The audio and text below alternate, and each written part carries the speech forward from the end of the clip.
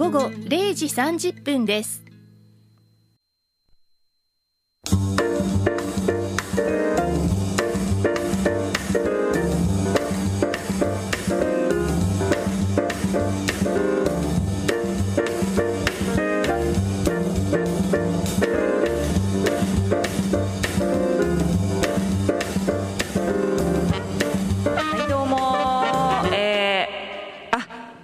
ちゃめちゃリバーブかかってもた。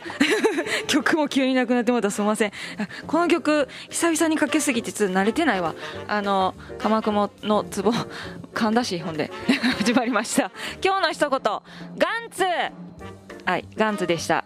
ですね。今日も鎌久保は、えー、岸和田駅出ましてですね。パッと見ましたら鳩ねいなかったんですまた。で木の上見たら木の上に4羽おったんです。でそこからですねちょっとここからファインによって今日はあのいつもの通り あの二日酔いなんで、えーソルマックを買ってですね。でソルマックを飲みながらパッとこうあのロータリーのとこね道のとこ見たら4羽ぐらいまだ鳩おったんですよ。だから計、えー8羽ぐらいおりましたね。で天気は曇りです。ですね今日はですねあのーゲストの方がいらっしゃってますんで、ツボはなしです。今日のツボは、えっ、と、フリートークで行きますんで、あの、ツボはなしです。で、今日は何の日っていうことで、えー、ちらほらそこを言っていこうかなと思います。ちょっとなんか調子狂うな、これ。なんか、いつもの、ひげ、ひげのテーマじゃなかった、なんかちょっと、まあ、まあ、前使っとった曲なんやけどね、まあ、ハンク・モブレーっていう人のね、曲なんですけど、えっ、と、世界赤十字デーらしいですよ。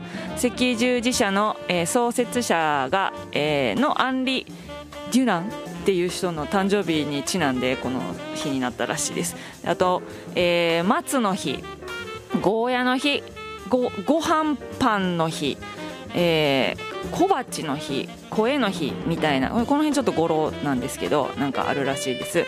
であとコカ・コーラの発売開始日が5月8日らしいです。1886年の5月8日に薬剤師のジョン・ペンバートンさんがあの発売あの作って発売したらしいです、えーコカ・コーラにはあの結構いろんな逸話というかねありますよね。ちゃんとしたレシピを知ってるのはあの一番上の2人だけみたいな感じのこととかをね聞いたりとかしますけどはい。もうそろそろあのしましょうか。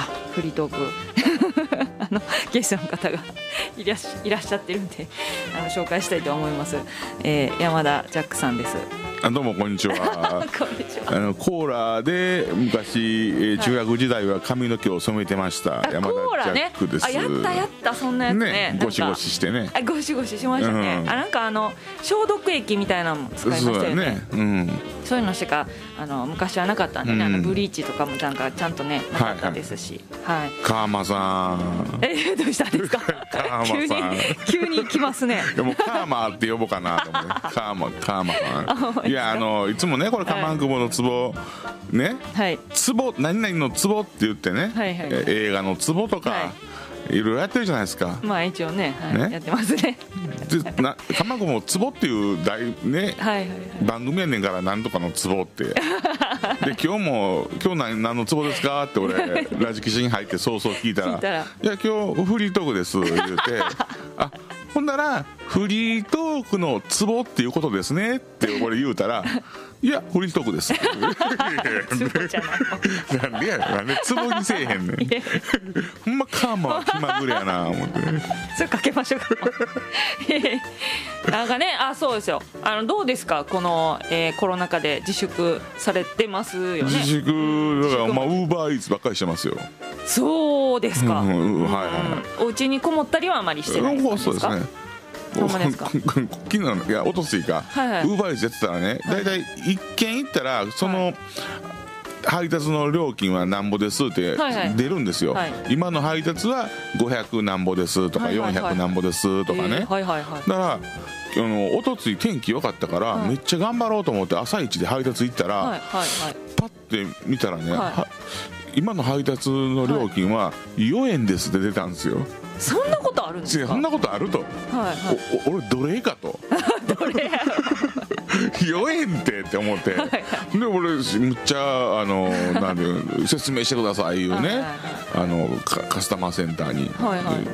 まあバグってことが分かってはいはいはいはい,、はいはい。4円ではなかったんです4円ではなかったんですよ。でも400円とか。まあまあだからそんなんでややったんですけどあー4円でなんか5月6日にウーバーイーツである地域でなんかそういうバグが発生したらしくて、結構みんなそういうね何円とか7円とかそんなんであちょっと厳しいね。びっくりしたいうあのレビューが書いてましたわ。そらそう。消費税よりもあれですよね ちょっとこうまあ4円で。コロナ禍びっくりしたわ。そういうこともあるんですねね。やっぱりね、まあ、はい私はですねあのあの先週も言ってたんですけどもうソロプレイのツボかなやったんですけど、はい。あの家でもうほんま映画ばっかり見てるんですよ、はい。Amazon プライムでね、うん。ほほぼまあ映画なんですけど、うん。でなんかあのー最近ねコロナ禍で、うん。まあ、なんか一番焦るしんどい人たちってなんやろみたいな話にもなんかお客さんとなったりとかはしとったんですけど、お客さんって言ってもあれですよ。あの私は店を休業中なので、うんうんあの普通にあの LINE とかしててっていう感じですけど、どどどう思います？え？コロナ禍で一番焦るしんどい人。たちってどういう人ですか。まあ私はも川ういやそうそうそう私はもちろんねね。もう無職無収入の人の心配するより。でそうそうそう。店ほんまに俺川間さん大丈夫かなと思うまあ、大丈夫じゃないですけどね、うん。まあそのまあ、まあ私らみたいな業種の人ももちろん、うん。あの焦るしんどい人なんですけど、まあこれって、うん。もう先週その先々週からも引き続きなんですけど、うん。やっぱりこのコロナ禍でもうやっぱりリモートとかうんなるじゃないですか、うん。やっぱりリモートセックス。リモートデリヘル。リモート的な感じになってくるとやっぱこう子孫繁栄ができないじゃまあないですか。ね。で結局あのそう私「モテキ」っていうのをね、うん。モテキも映画で見たんですけどちょっと話飛ぶんですけど、うん。その話の流れからだからモテキが来るのって女の人ってなんやろ、まあまだまだ20代の頃の方がやっぱモテはるし、うん。そのうん20代の女の子たちも、うん。あのみんな言ったらそういう結婚に向けて30歳ぐらいまでにはなんはい。か子供一人ぐらい産みたいなとかこう、まあ、うん。結婚してとかぐらいは思うじゃないですか。うん。そうなってくるとこれにそのこの23年もコロナでこんな状態が続いてるっていうことは、20代後半ぐらいの女の子がうん。27から30歳丸々 3, 歳3年ぐらいん。出会えないそういう活動ができないみたいになると、ほんま一番焦ってるのそのぐらいの人なんじゃないかっていう話になって。コロナって。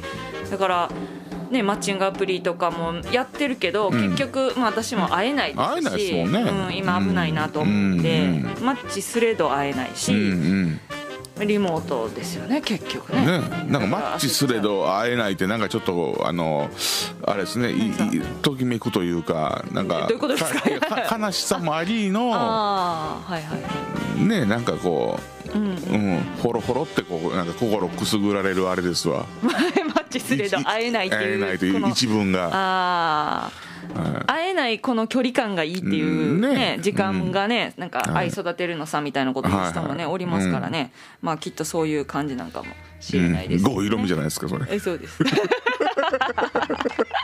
ちょいちょい。なんで郷ひろみって言わなかったの いやいや。よかった山田さんがおってなんでそこそこそこを伏せたんかな思って今、ええ。まあのねそうそうほんでそのマッチングアプリのね話なんですけど、はい。はい。私最近ね思ったのがなんでなんかマッチングアプリの不思議でね、うん。なんで不思議みたいな、うん。これ私側なんですけど、はい。えっとどっかのトイレで自撮りしてるやつはい。とかなんか元カノと写ってるやつとか。あああるああれどういう感ね覚とかなんかなと思って、ねなんか。そうそうそうそう、うん。一応マッチングアプリなんやから、うん。それなんか女の人と写ってるのってなんかあんまり高評価にはならんのちゃうかなと思うから、ねとかなんかものすごい決め顔の人とか。う、ん。えそこまでぐらいのね、うん。つマッチングアプリの写真のなんか不思議をね、うん。こうまあ、最近よく思うんですけど、うん。あのあと家でパン一自撮りのやつとか。へえ家でパン一自撮り自分でしてるわけじゃないですか。男子側がね。そうそう、うん。結構なんかほんまに自分の家なんですよ、うんそれがね、でパン一自撮りなんですよ、うん。どういう感覚かなってちょっと分かれへんなみたいな今だからあそうかカマンカーマさんはだから男側を見るからねあそうそうそう俺もだから女側を見るから、はい何これみたいなだからええどんなどんないやいやもう完全に顔隠してる人いませんあもうまあまあ男性でもいますねはいはいはい、うん、でもマスクして、はいはいはいあのねはいなんか花粉まマスクなんかなんていうマスクでも、はいあれこんまにコロナにすごく怖がってるんか知らんけど、工業用のマスクみたいなんガーンって。ああもうなんかガスマスクぐらいの勢いってことですか？ほんで顔映りたくないんか知らんけどサングラスはめてるんですよ。誰か分かれもう鳥山明にしか見えない。鳥山明 鳥山明鳥な山明でしょあそう。あのあられちゃんにでのとこに出てくるね。あほんまや。ほんまやね。でしょ？はいはいはいはいはいあ鳥山明にしか見えへんいでたちで、はい。マッチングアプリのとこ映ってるから こんなん誰がマッチすんねやろ思ってね。そう。だから私もこのね今言ってる家でパンチ自撮りの人とか、ん。マッチしてるんかなみたいな、なんかちょっと不思議でなんかまあどどっかのトイレとかはめっちゃ多いんですよ、うん。それもなんかえなんか誰かじゃあ同僚とかにちょっとうん。なんか飲みに行ったりとかしてる時に撮ってよとか言われへんかったんかなみたいな、あんま友達おれへん人なんかなって思えてくるでってなって、ね。うん。マッチしにくいんちゃうかなとこう私は思うんですよね、うんすごいいろんな方がいらっしゃるんで。はい、まあまあマッチングアプリもそんな感じで。まあまあ皆さん。ねそのうんモテ期20代うん。後半をこうねやるまあ焦るしんどい人生をね送ってはる方もいらっしゃるんでしょうけどここでちょっとお便りはい。言っときどうぞましょうかね。あのとお便り？いやいやもちろん。あほんまですか？えっ、とねはい。いつもの方なんですよ、ちょっと、えー、カマンクボさんつぼらの皆さんこんにちは。今日はゲストの方も来られるということでこんにちは。こんにちは。こんにちは。百常さんです。ジャクツネさん元気ですか？多分聞いてると思います、覚えてます？100日後に死ぬツネをって。名付けたやつですよ。そうそうそうそうはい。え僕は日頃は仕事場でラジオの FM を流して聞いているあ働いているのですがラジオの DJ されている方ってすごいなと思います。我慢久保さんは日頃どんなトレーニング勉強をされているのですか？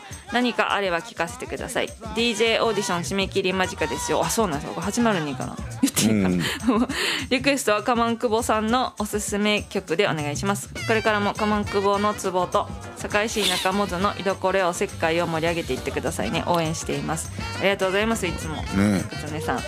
はい、えー、トレーニングしてますか？トレーニングですかなんかこう日頃その DJ ややらしい方の。あいやあ違う違う違う違う違う。そっちのトレーニングはそっちのねトレーニング自主トレは用意してますけどね。そっちのトレーニングは用意してはるんですか？自主トレですよ。あ自主トレですか、はあほんまですか、えっ、とあ普通に DJ の。い DJ DJ って。えいや一応ラジオのこうパーソナリティとして何かはいはいはい。日頃からされることって言われてねえねえうんいきなりはねちょっとやらかしてましたね今。え802ですか？言うて。いやラジオ岸和田皆さんラジオ岸和田、えー、10周年ですからね今そうそう。10周年ですよ。そういうトレーニングがまだまだ私は必要やと思いますよ。あの気抜いたら言うてしまいそうになるっていういろいろね言うてしまいそうになるんでまだまだ。あのそうですだから百常さん私はあのーまあだからその映画見たりとかするのも私の中ではまあ一つトレーニングではありますけど、あとまあ音楽聴いたりもそうですけど、うん。なんでもこうあと情報集めみたいなのは、まあそれは自分で好きでやってるから、ん。別にそのここにあの対してめちゃめちゃその努力してるっていう感じのことではないですけど、まあ好きでやらせてもらってます。そうなんですよ。だからその好きでやってることって、だからよう言うけど別に努力じゃないじゃないですか、はい。自分の中で好きなだけやからっていうね、だからなんかそういう感じでやらせてもらってますけどね。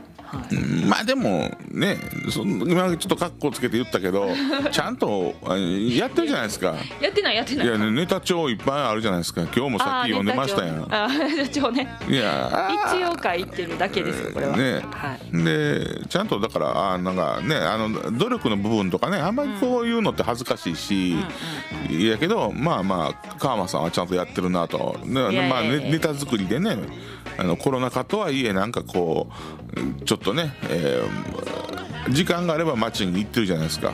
うんまあまあ街に出て、まあ、歩いてみようっていうのはありますよね。やっぱちょっと家降りすぎると、ね。ちょっと人と会わなさすぎるとよくないかなと思って。そんなんとかもねそなんとかもまあまあねネタ作りになるしね。はい、人見てるだけでもねなんかその出て誰かおるの見てるだけでも多分、まあ人の観察というかね。ね、いや前ねほららあのちょうどい最近ね、はい。まあ、かまんくぼさんあの適当に言うてくんな俺にって思ったんが、はい。あのカフェ行ったじゃないですかあのはいはいはい一番最近の方ね。はいはい。いつも行ってるだかですよね。らその僕らが座ってるところのあちゃうちゃああ僕らが座ってるところの一個席開けて横にはい。なんかヘッドホンしながらなんていうんかなちょっとこう結構もさいなんかサブカル女子みたいなのが一人でおったでしょ。もしゃもしゃ食ってたでしょ。ね。はでああなんかいてはんなとなんかすごいねえ一人で一人でねなんかあの僕のね、はい。知らんと思うけど後輩芸人で、あのはい村橋システムっておるんですよ。はあはその村橋システムに似てるねあはい。あの感じのはいはいはい。やつやったんですよそれが、はいはいはい。あこいつ村橋に似てんなと思って俺は見とったんですよ、はいはい。だから何を思ったか川間さんがはい。俺に絶対あのあの女子山田さんのことときめいてると思いますよとかはい言うてきたの覚えてます、あほんまですもんだって。ええほんまほんまほんまほんま。ですってどんな確信があったんですかそれ？いやいやいやそう目線がそういう目線なんですよ。マジっすか？はい。あなんかあ山田さんみたいな人タイプなんかなって感じがしたんですよ。いやほんまにほんまに。ほんで、はいはい。ほんでほんでうわ、はうわって思って、はいえー俺は全然タイプじゃなかったからね。そうやった村橋システムとしか思えてなかったから、はい。ほんで,、はい。でその次の日ですよ。全く次の日に、はい。俺全然違うガストに飯食いに行ったんですよ、はいはいはい。ほんならまた俺の席の一個開けて横にはい。おったんですよ、あ同じ人が。同じやつが。ええそう。もうやっぱもうそれは運命ですよ。いやいや村橋と。いやいやその人知らんけど。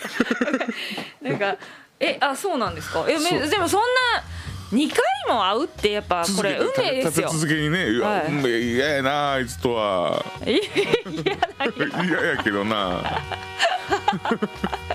いやだからそんなんほら、なんかそんなん当てるやん。あのなんか私さんなんかなんかこう、はいはい。ねななんかちょっと店でのことであって難波でそいつ捕まえれるかなって言った時も、はい。あ勘いいからねなんか私ほんまに難波でねはお金足りひんかったやつ捕まえてしまうんですか。ね捕まえて捕まえて捕まえてあんなんとか俺びっくりすんもん。ななんんでって、かねいや流れがね多うん。分人の流れが、あ自分の流れも最近ちょっとずつ読めるようになったけど、うん。なんかこうあれなんですよ。多分人の流れがよく分かる人なんですよ私、うんだから多分こうああれなんちゃうかなとかあこの2人って付き合う。前もねここであの女のさんの話の時に言ってたんですけど、なんかあこの人は付き合うんちゃうかなとか あこの人のなんかこう縁あるんちゃうかなみたいな人のそういう流れが見えるんですよ。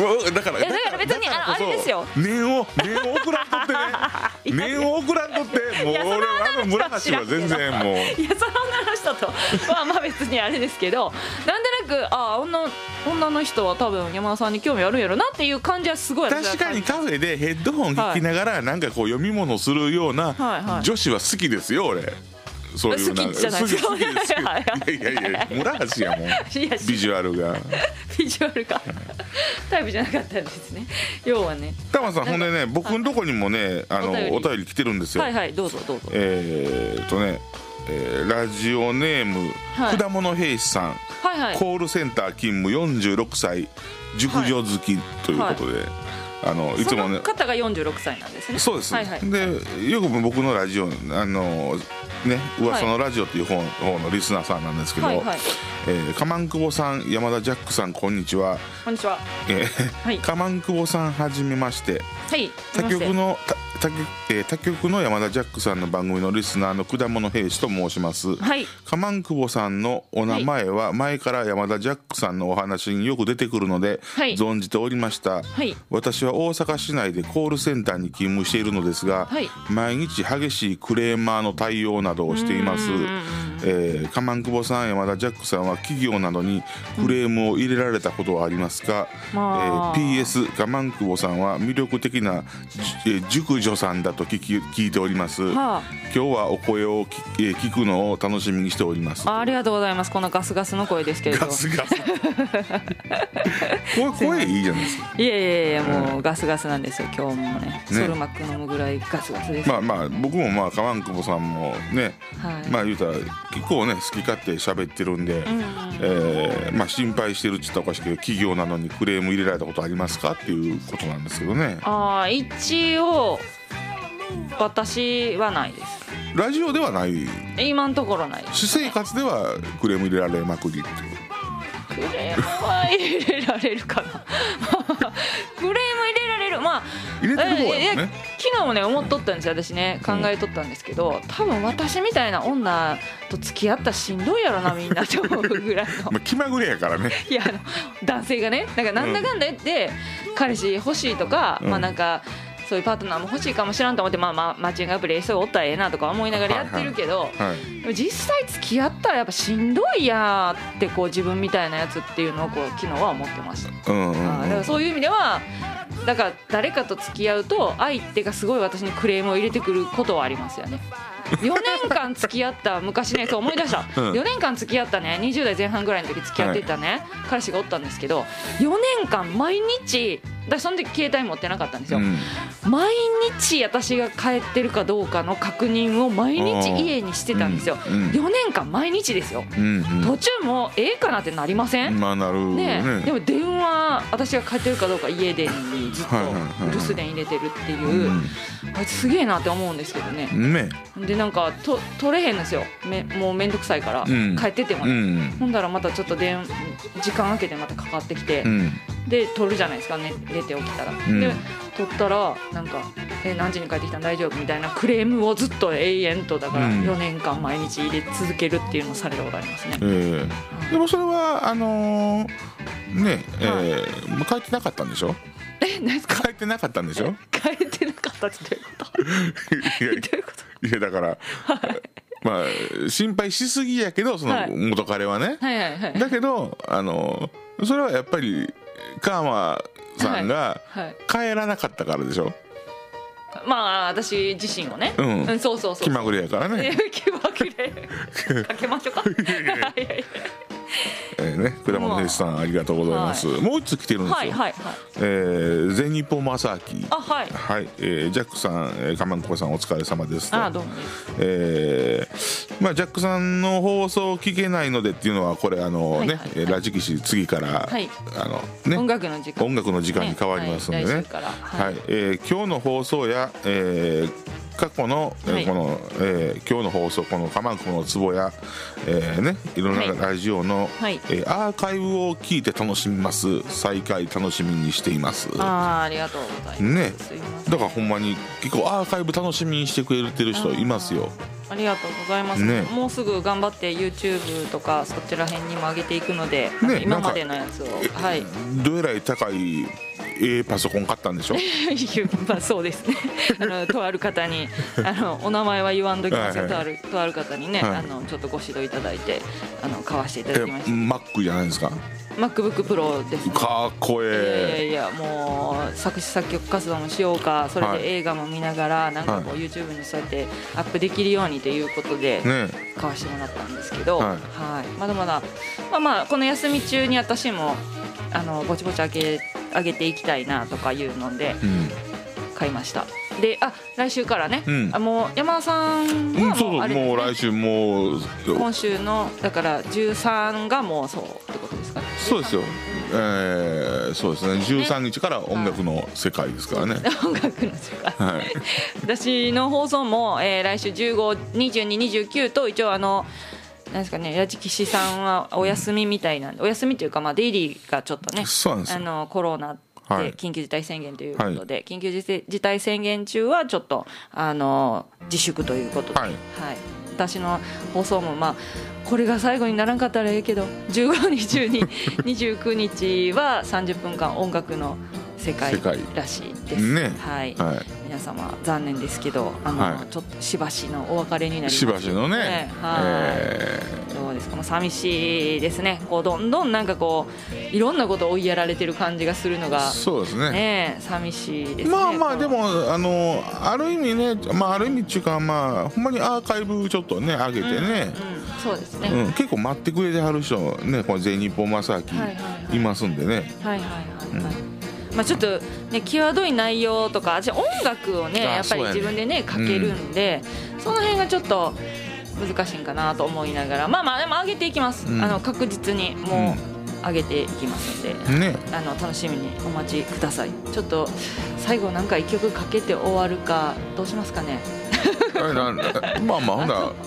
あと3分なんでもう今日はまあでもフリいやいやフリートークで終わりましょうかまあまあでもさい終わるけど最後は何かかけるんでしょ、なんかかけましょうか、まああのカーマは気まぐれでいいんじゃないですか？ガーマ気まぐれいきますか、はあの、いまあでも残り1分らへんでかけたらいいんじゃないですか？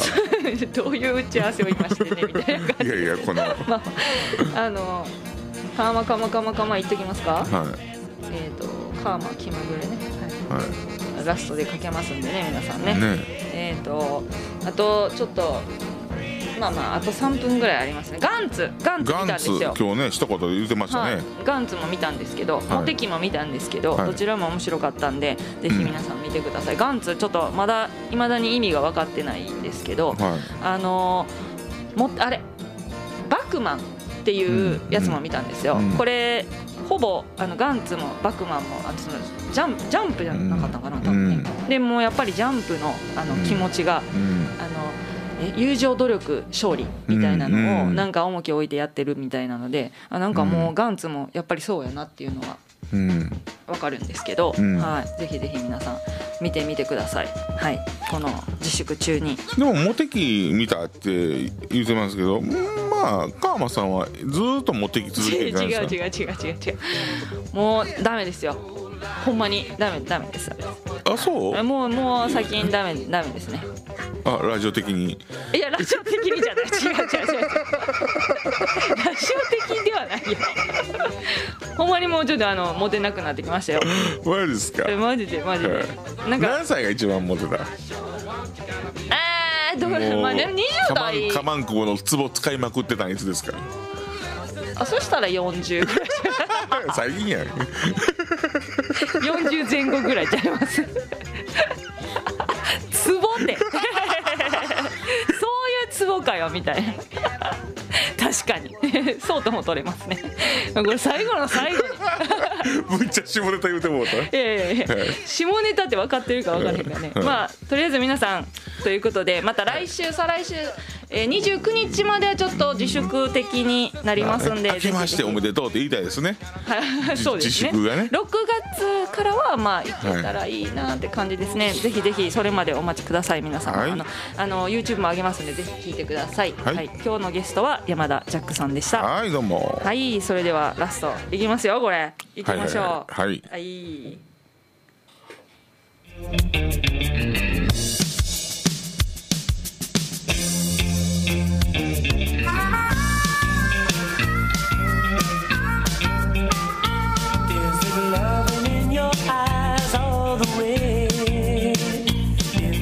listen to your lies, would you say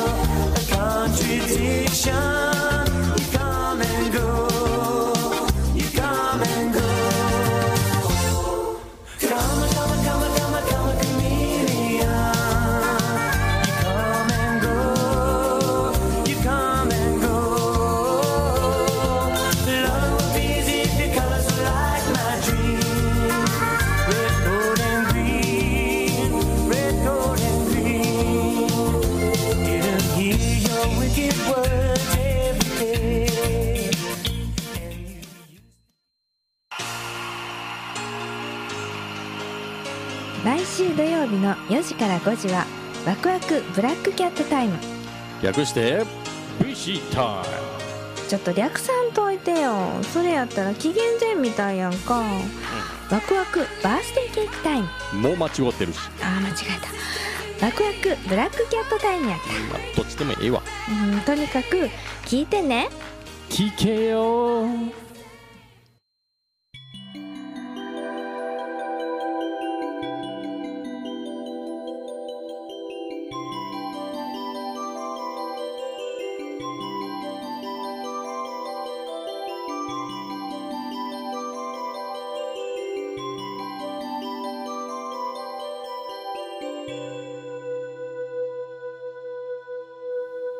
ラジオ岸和田が午後1時をお知らせします。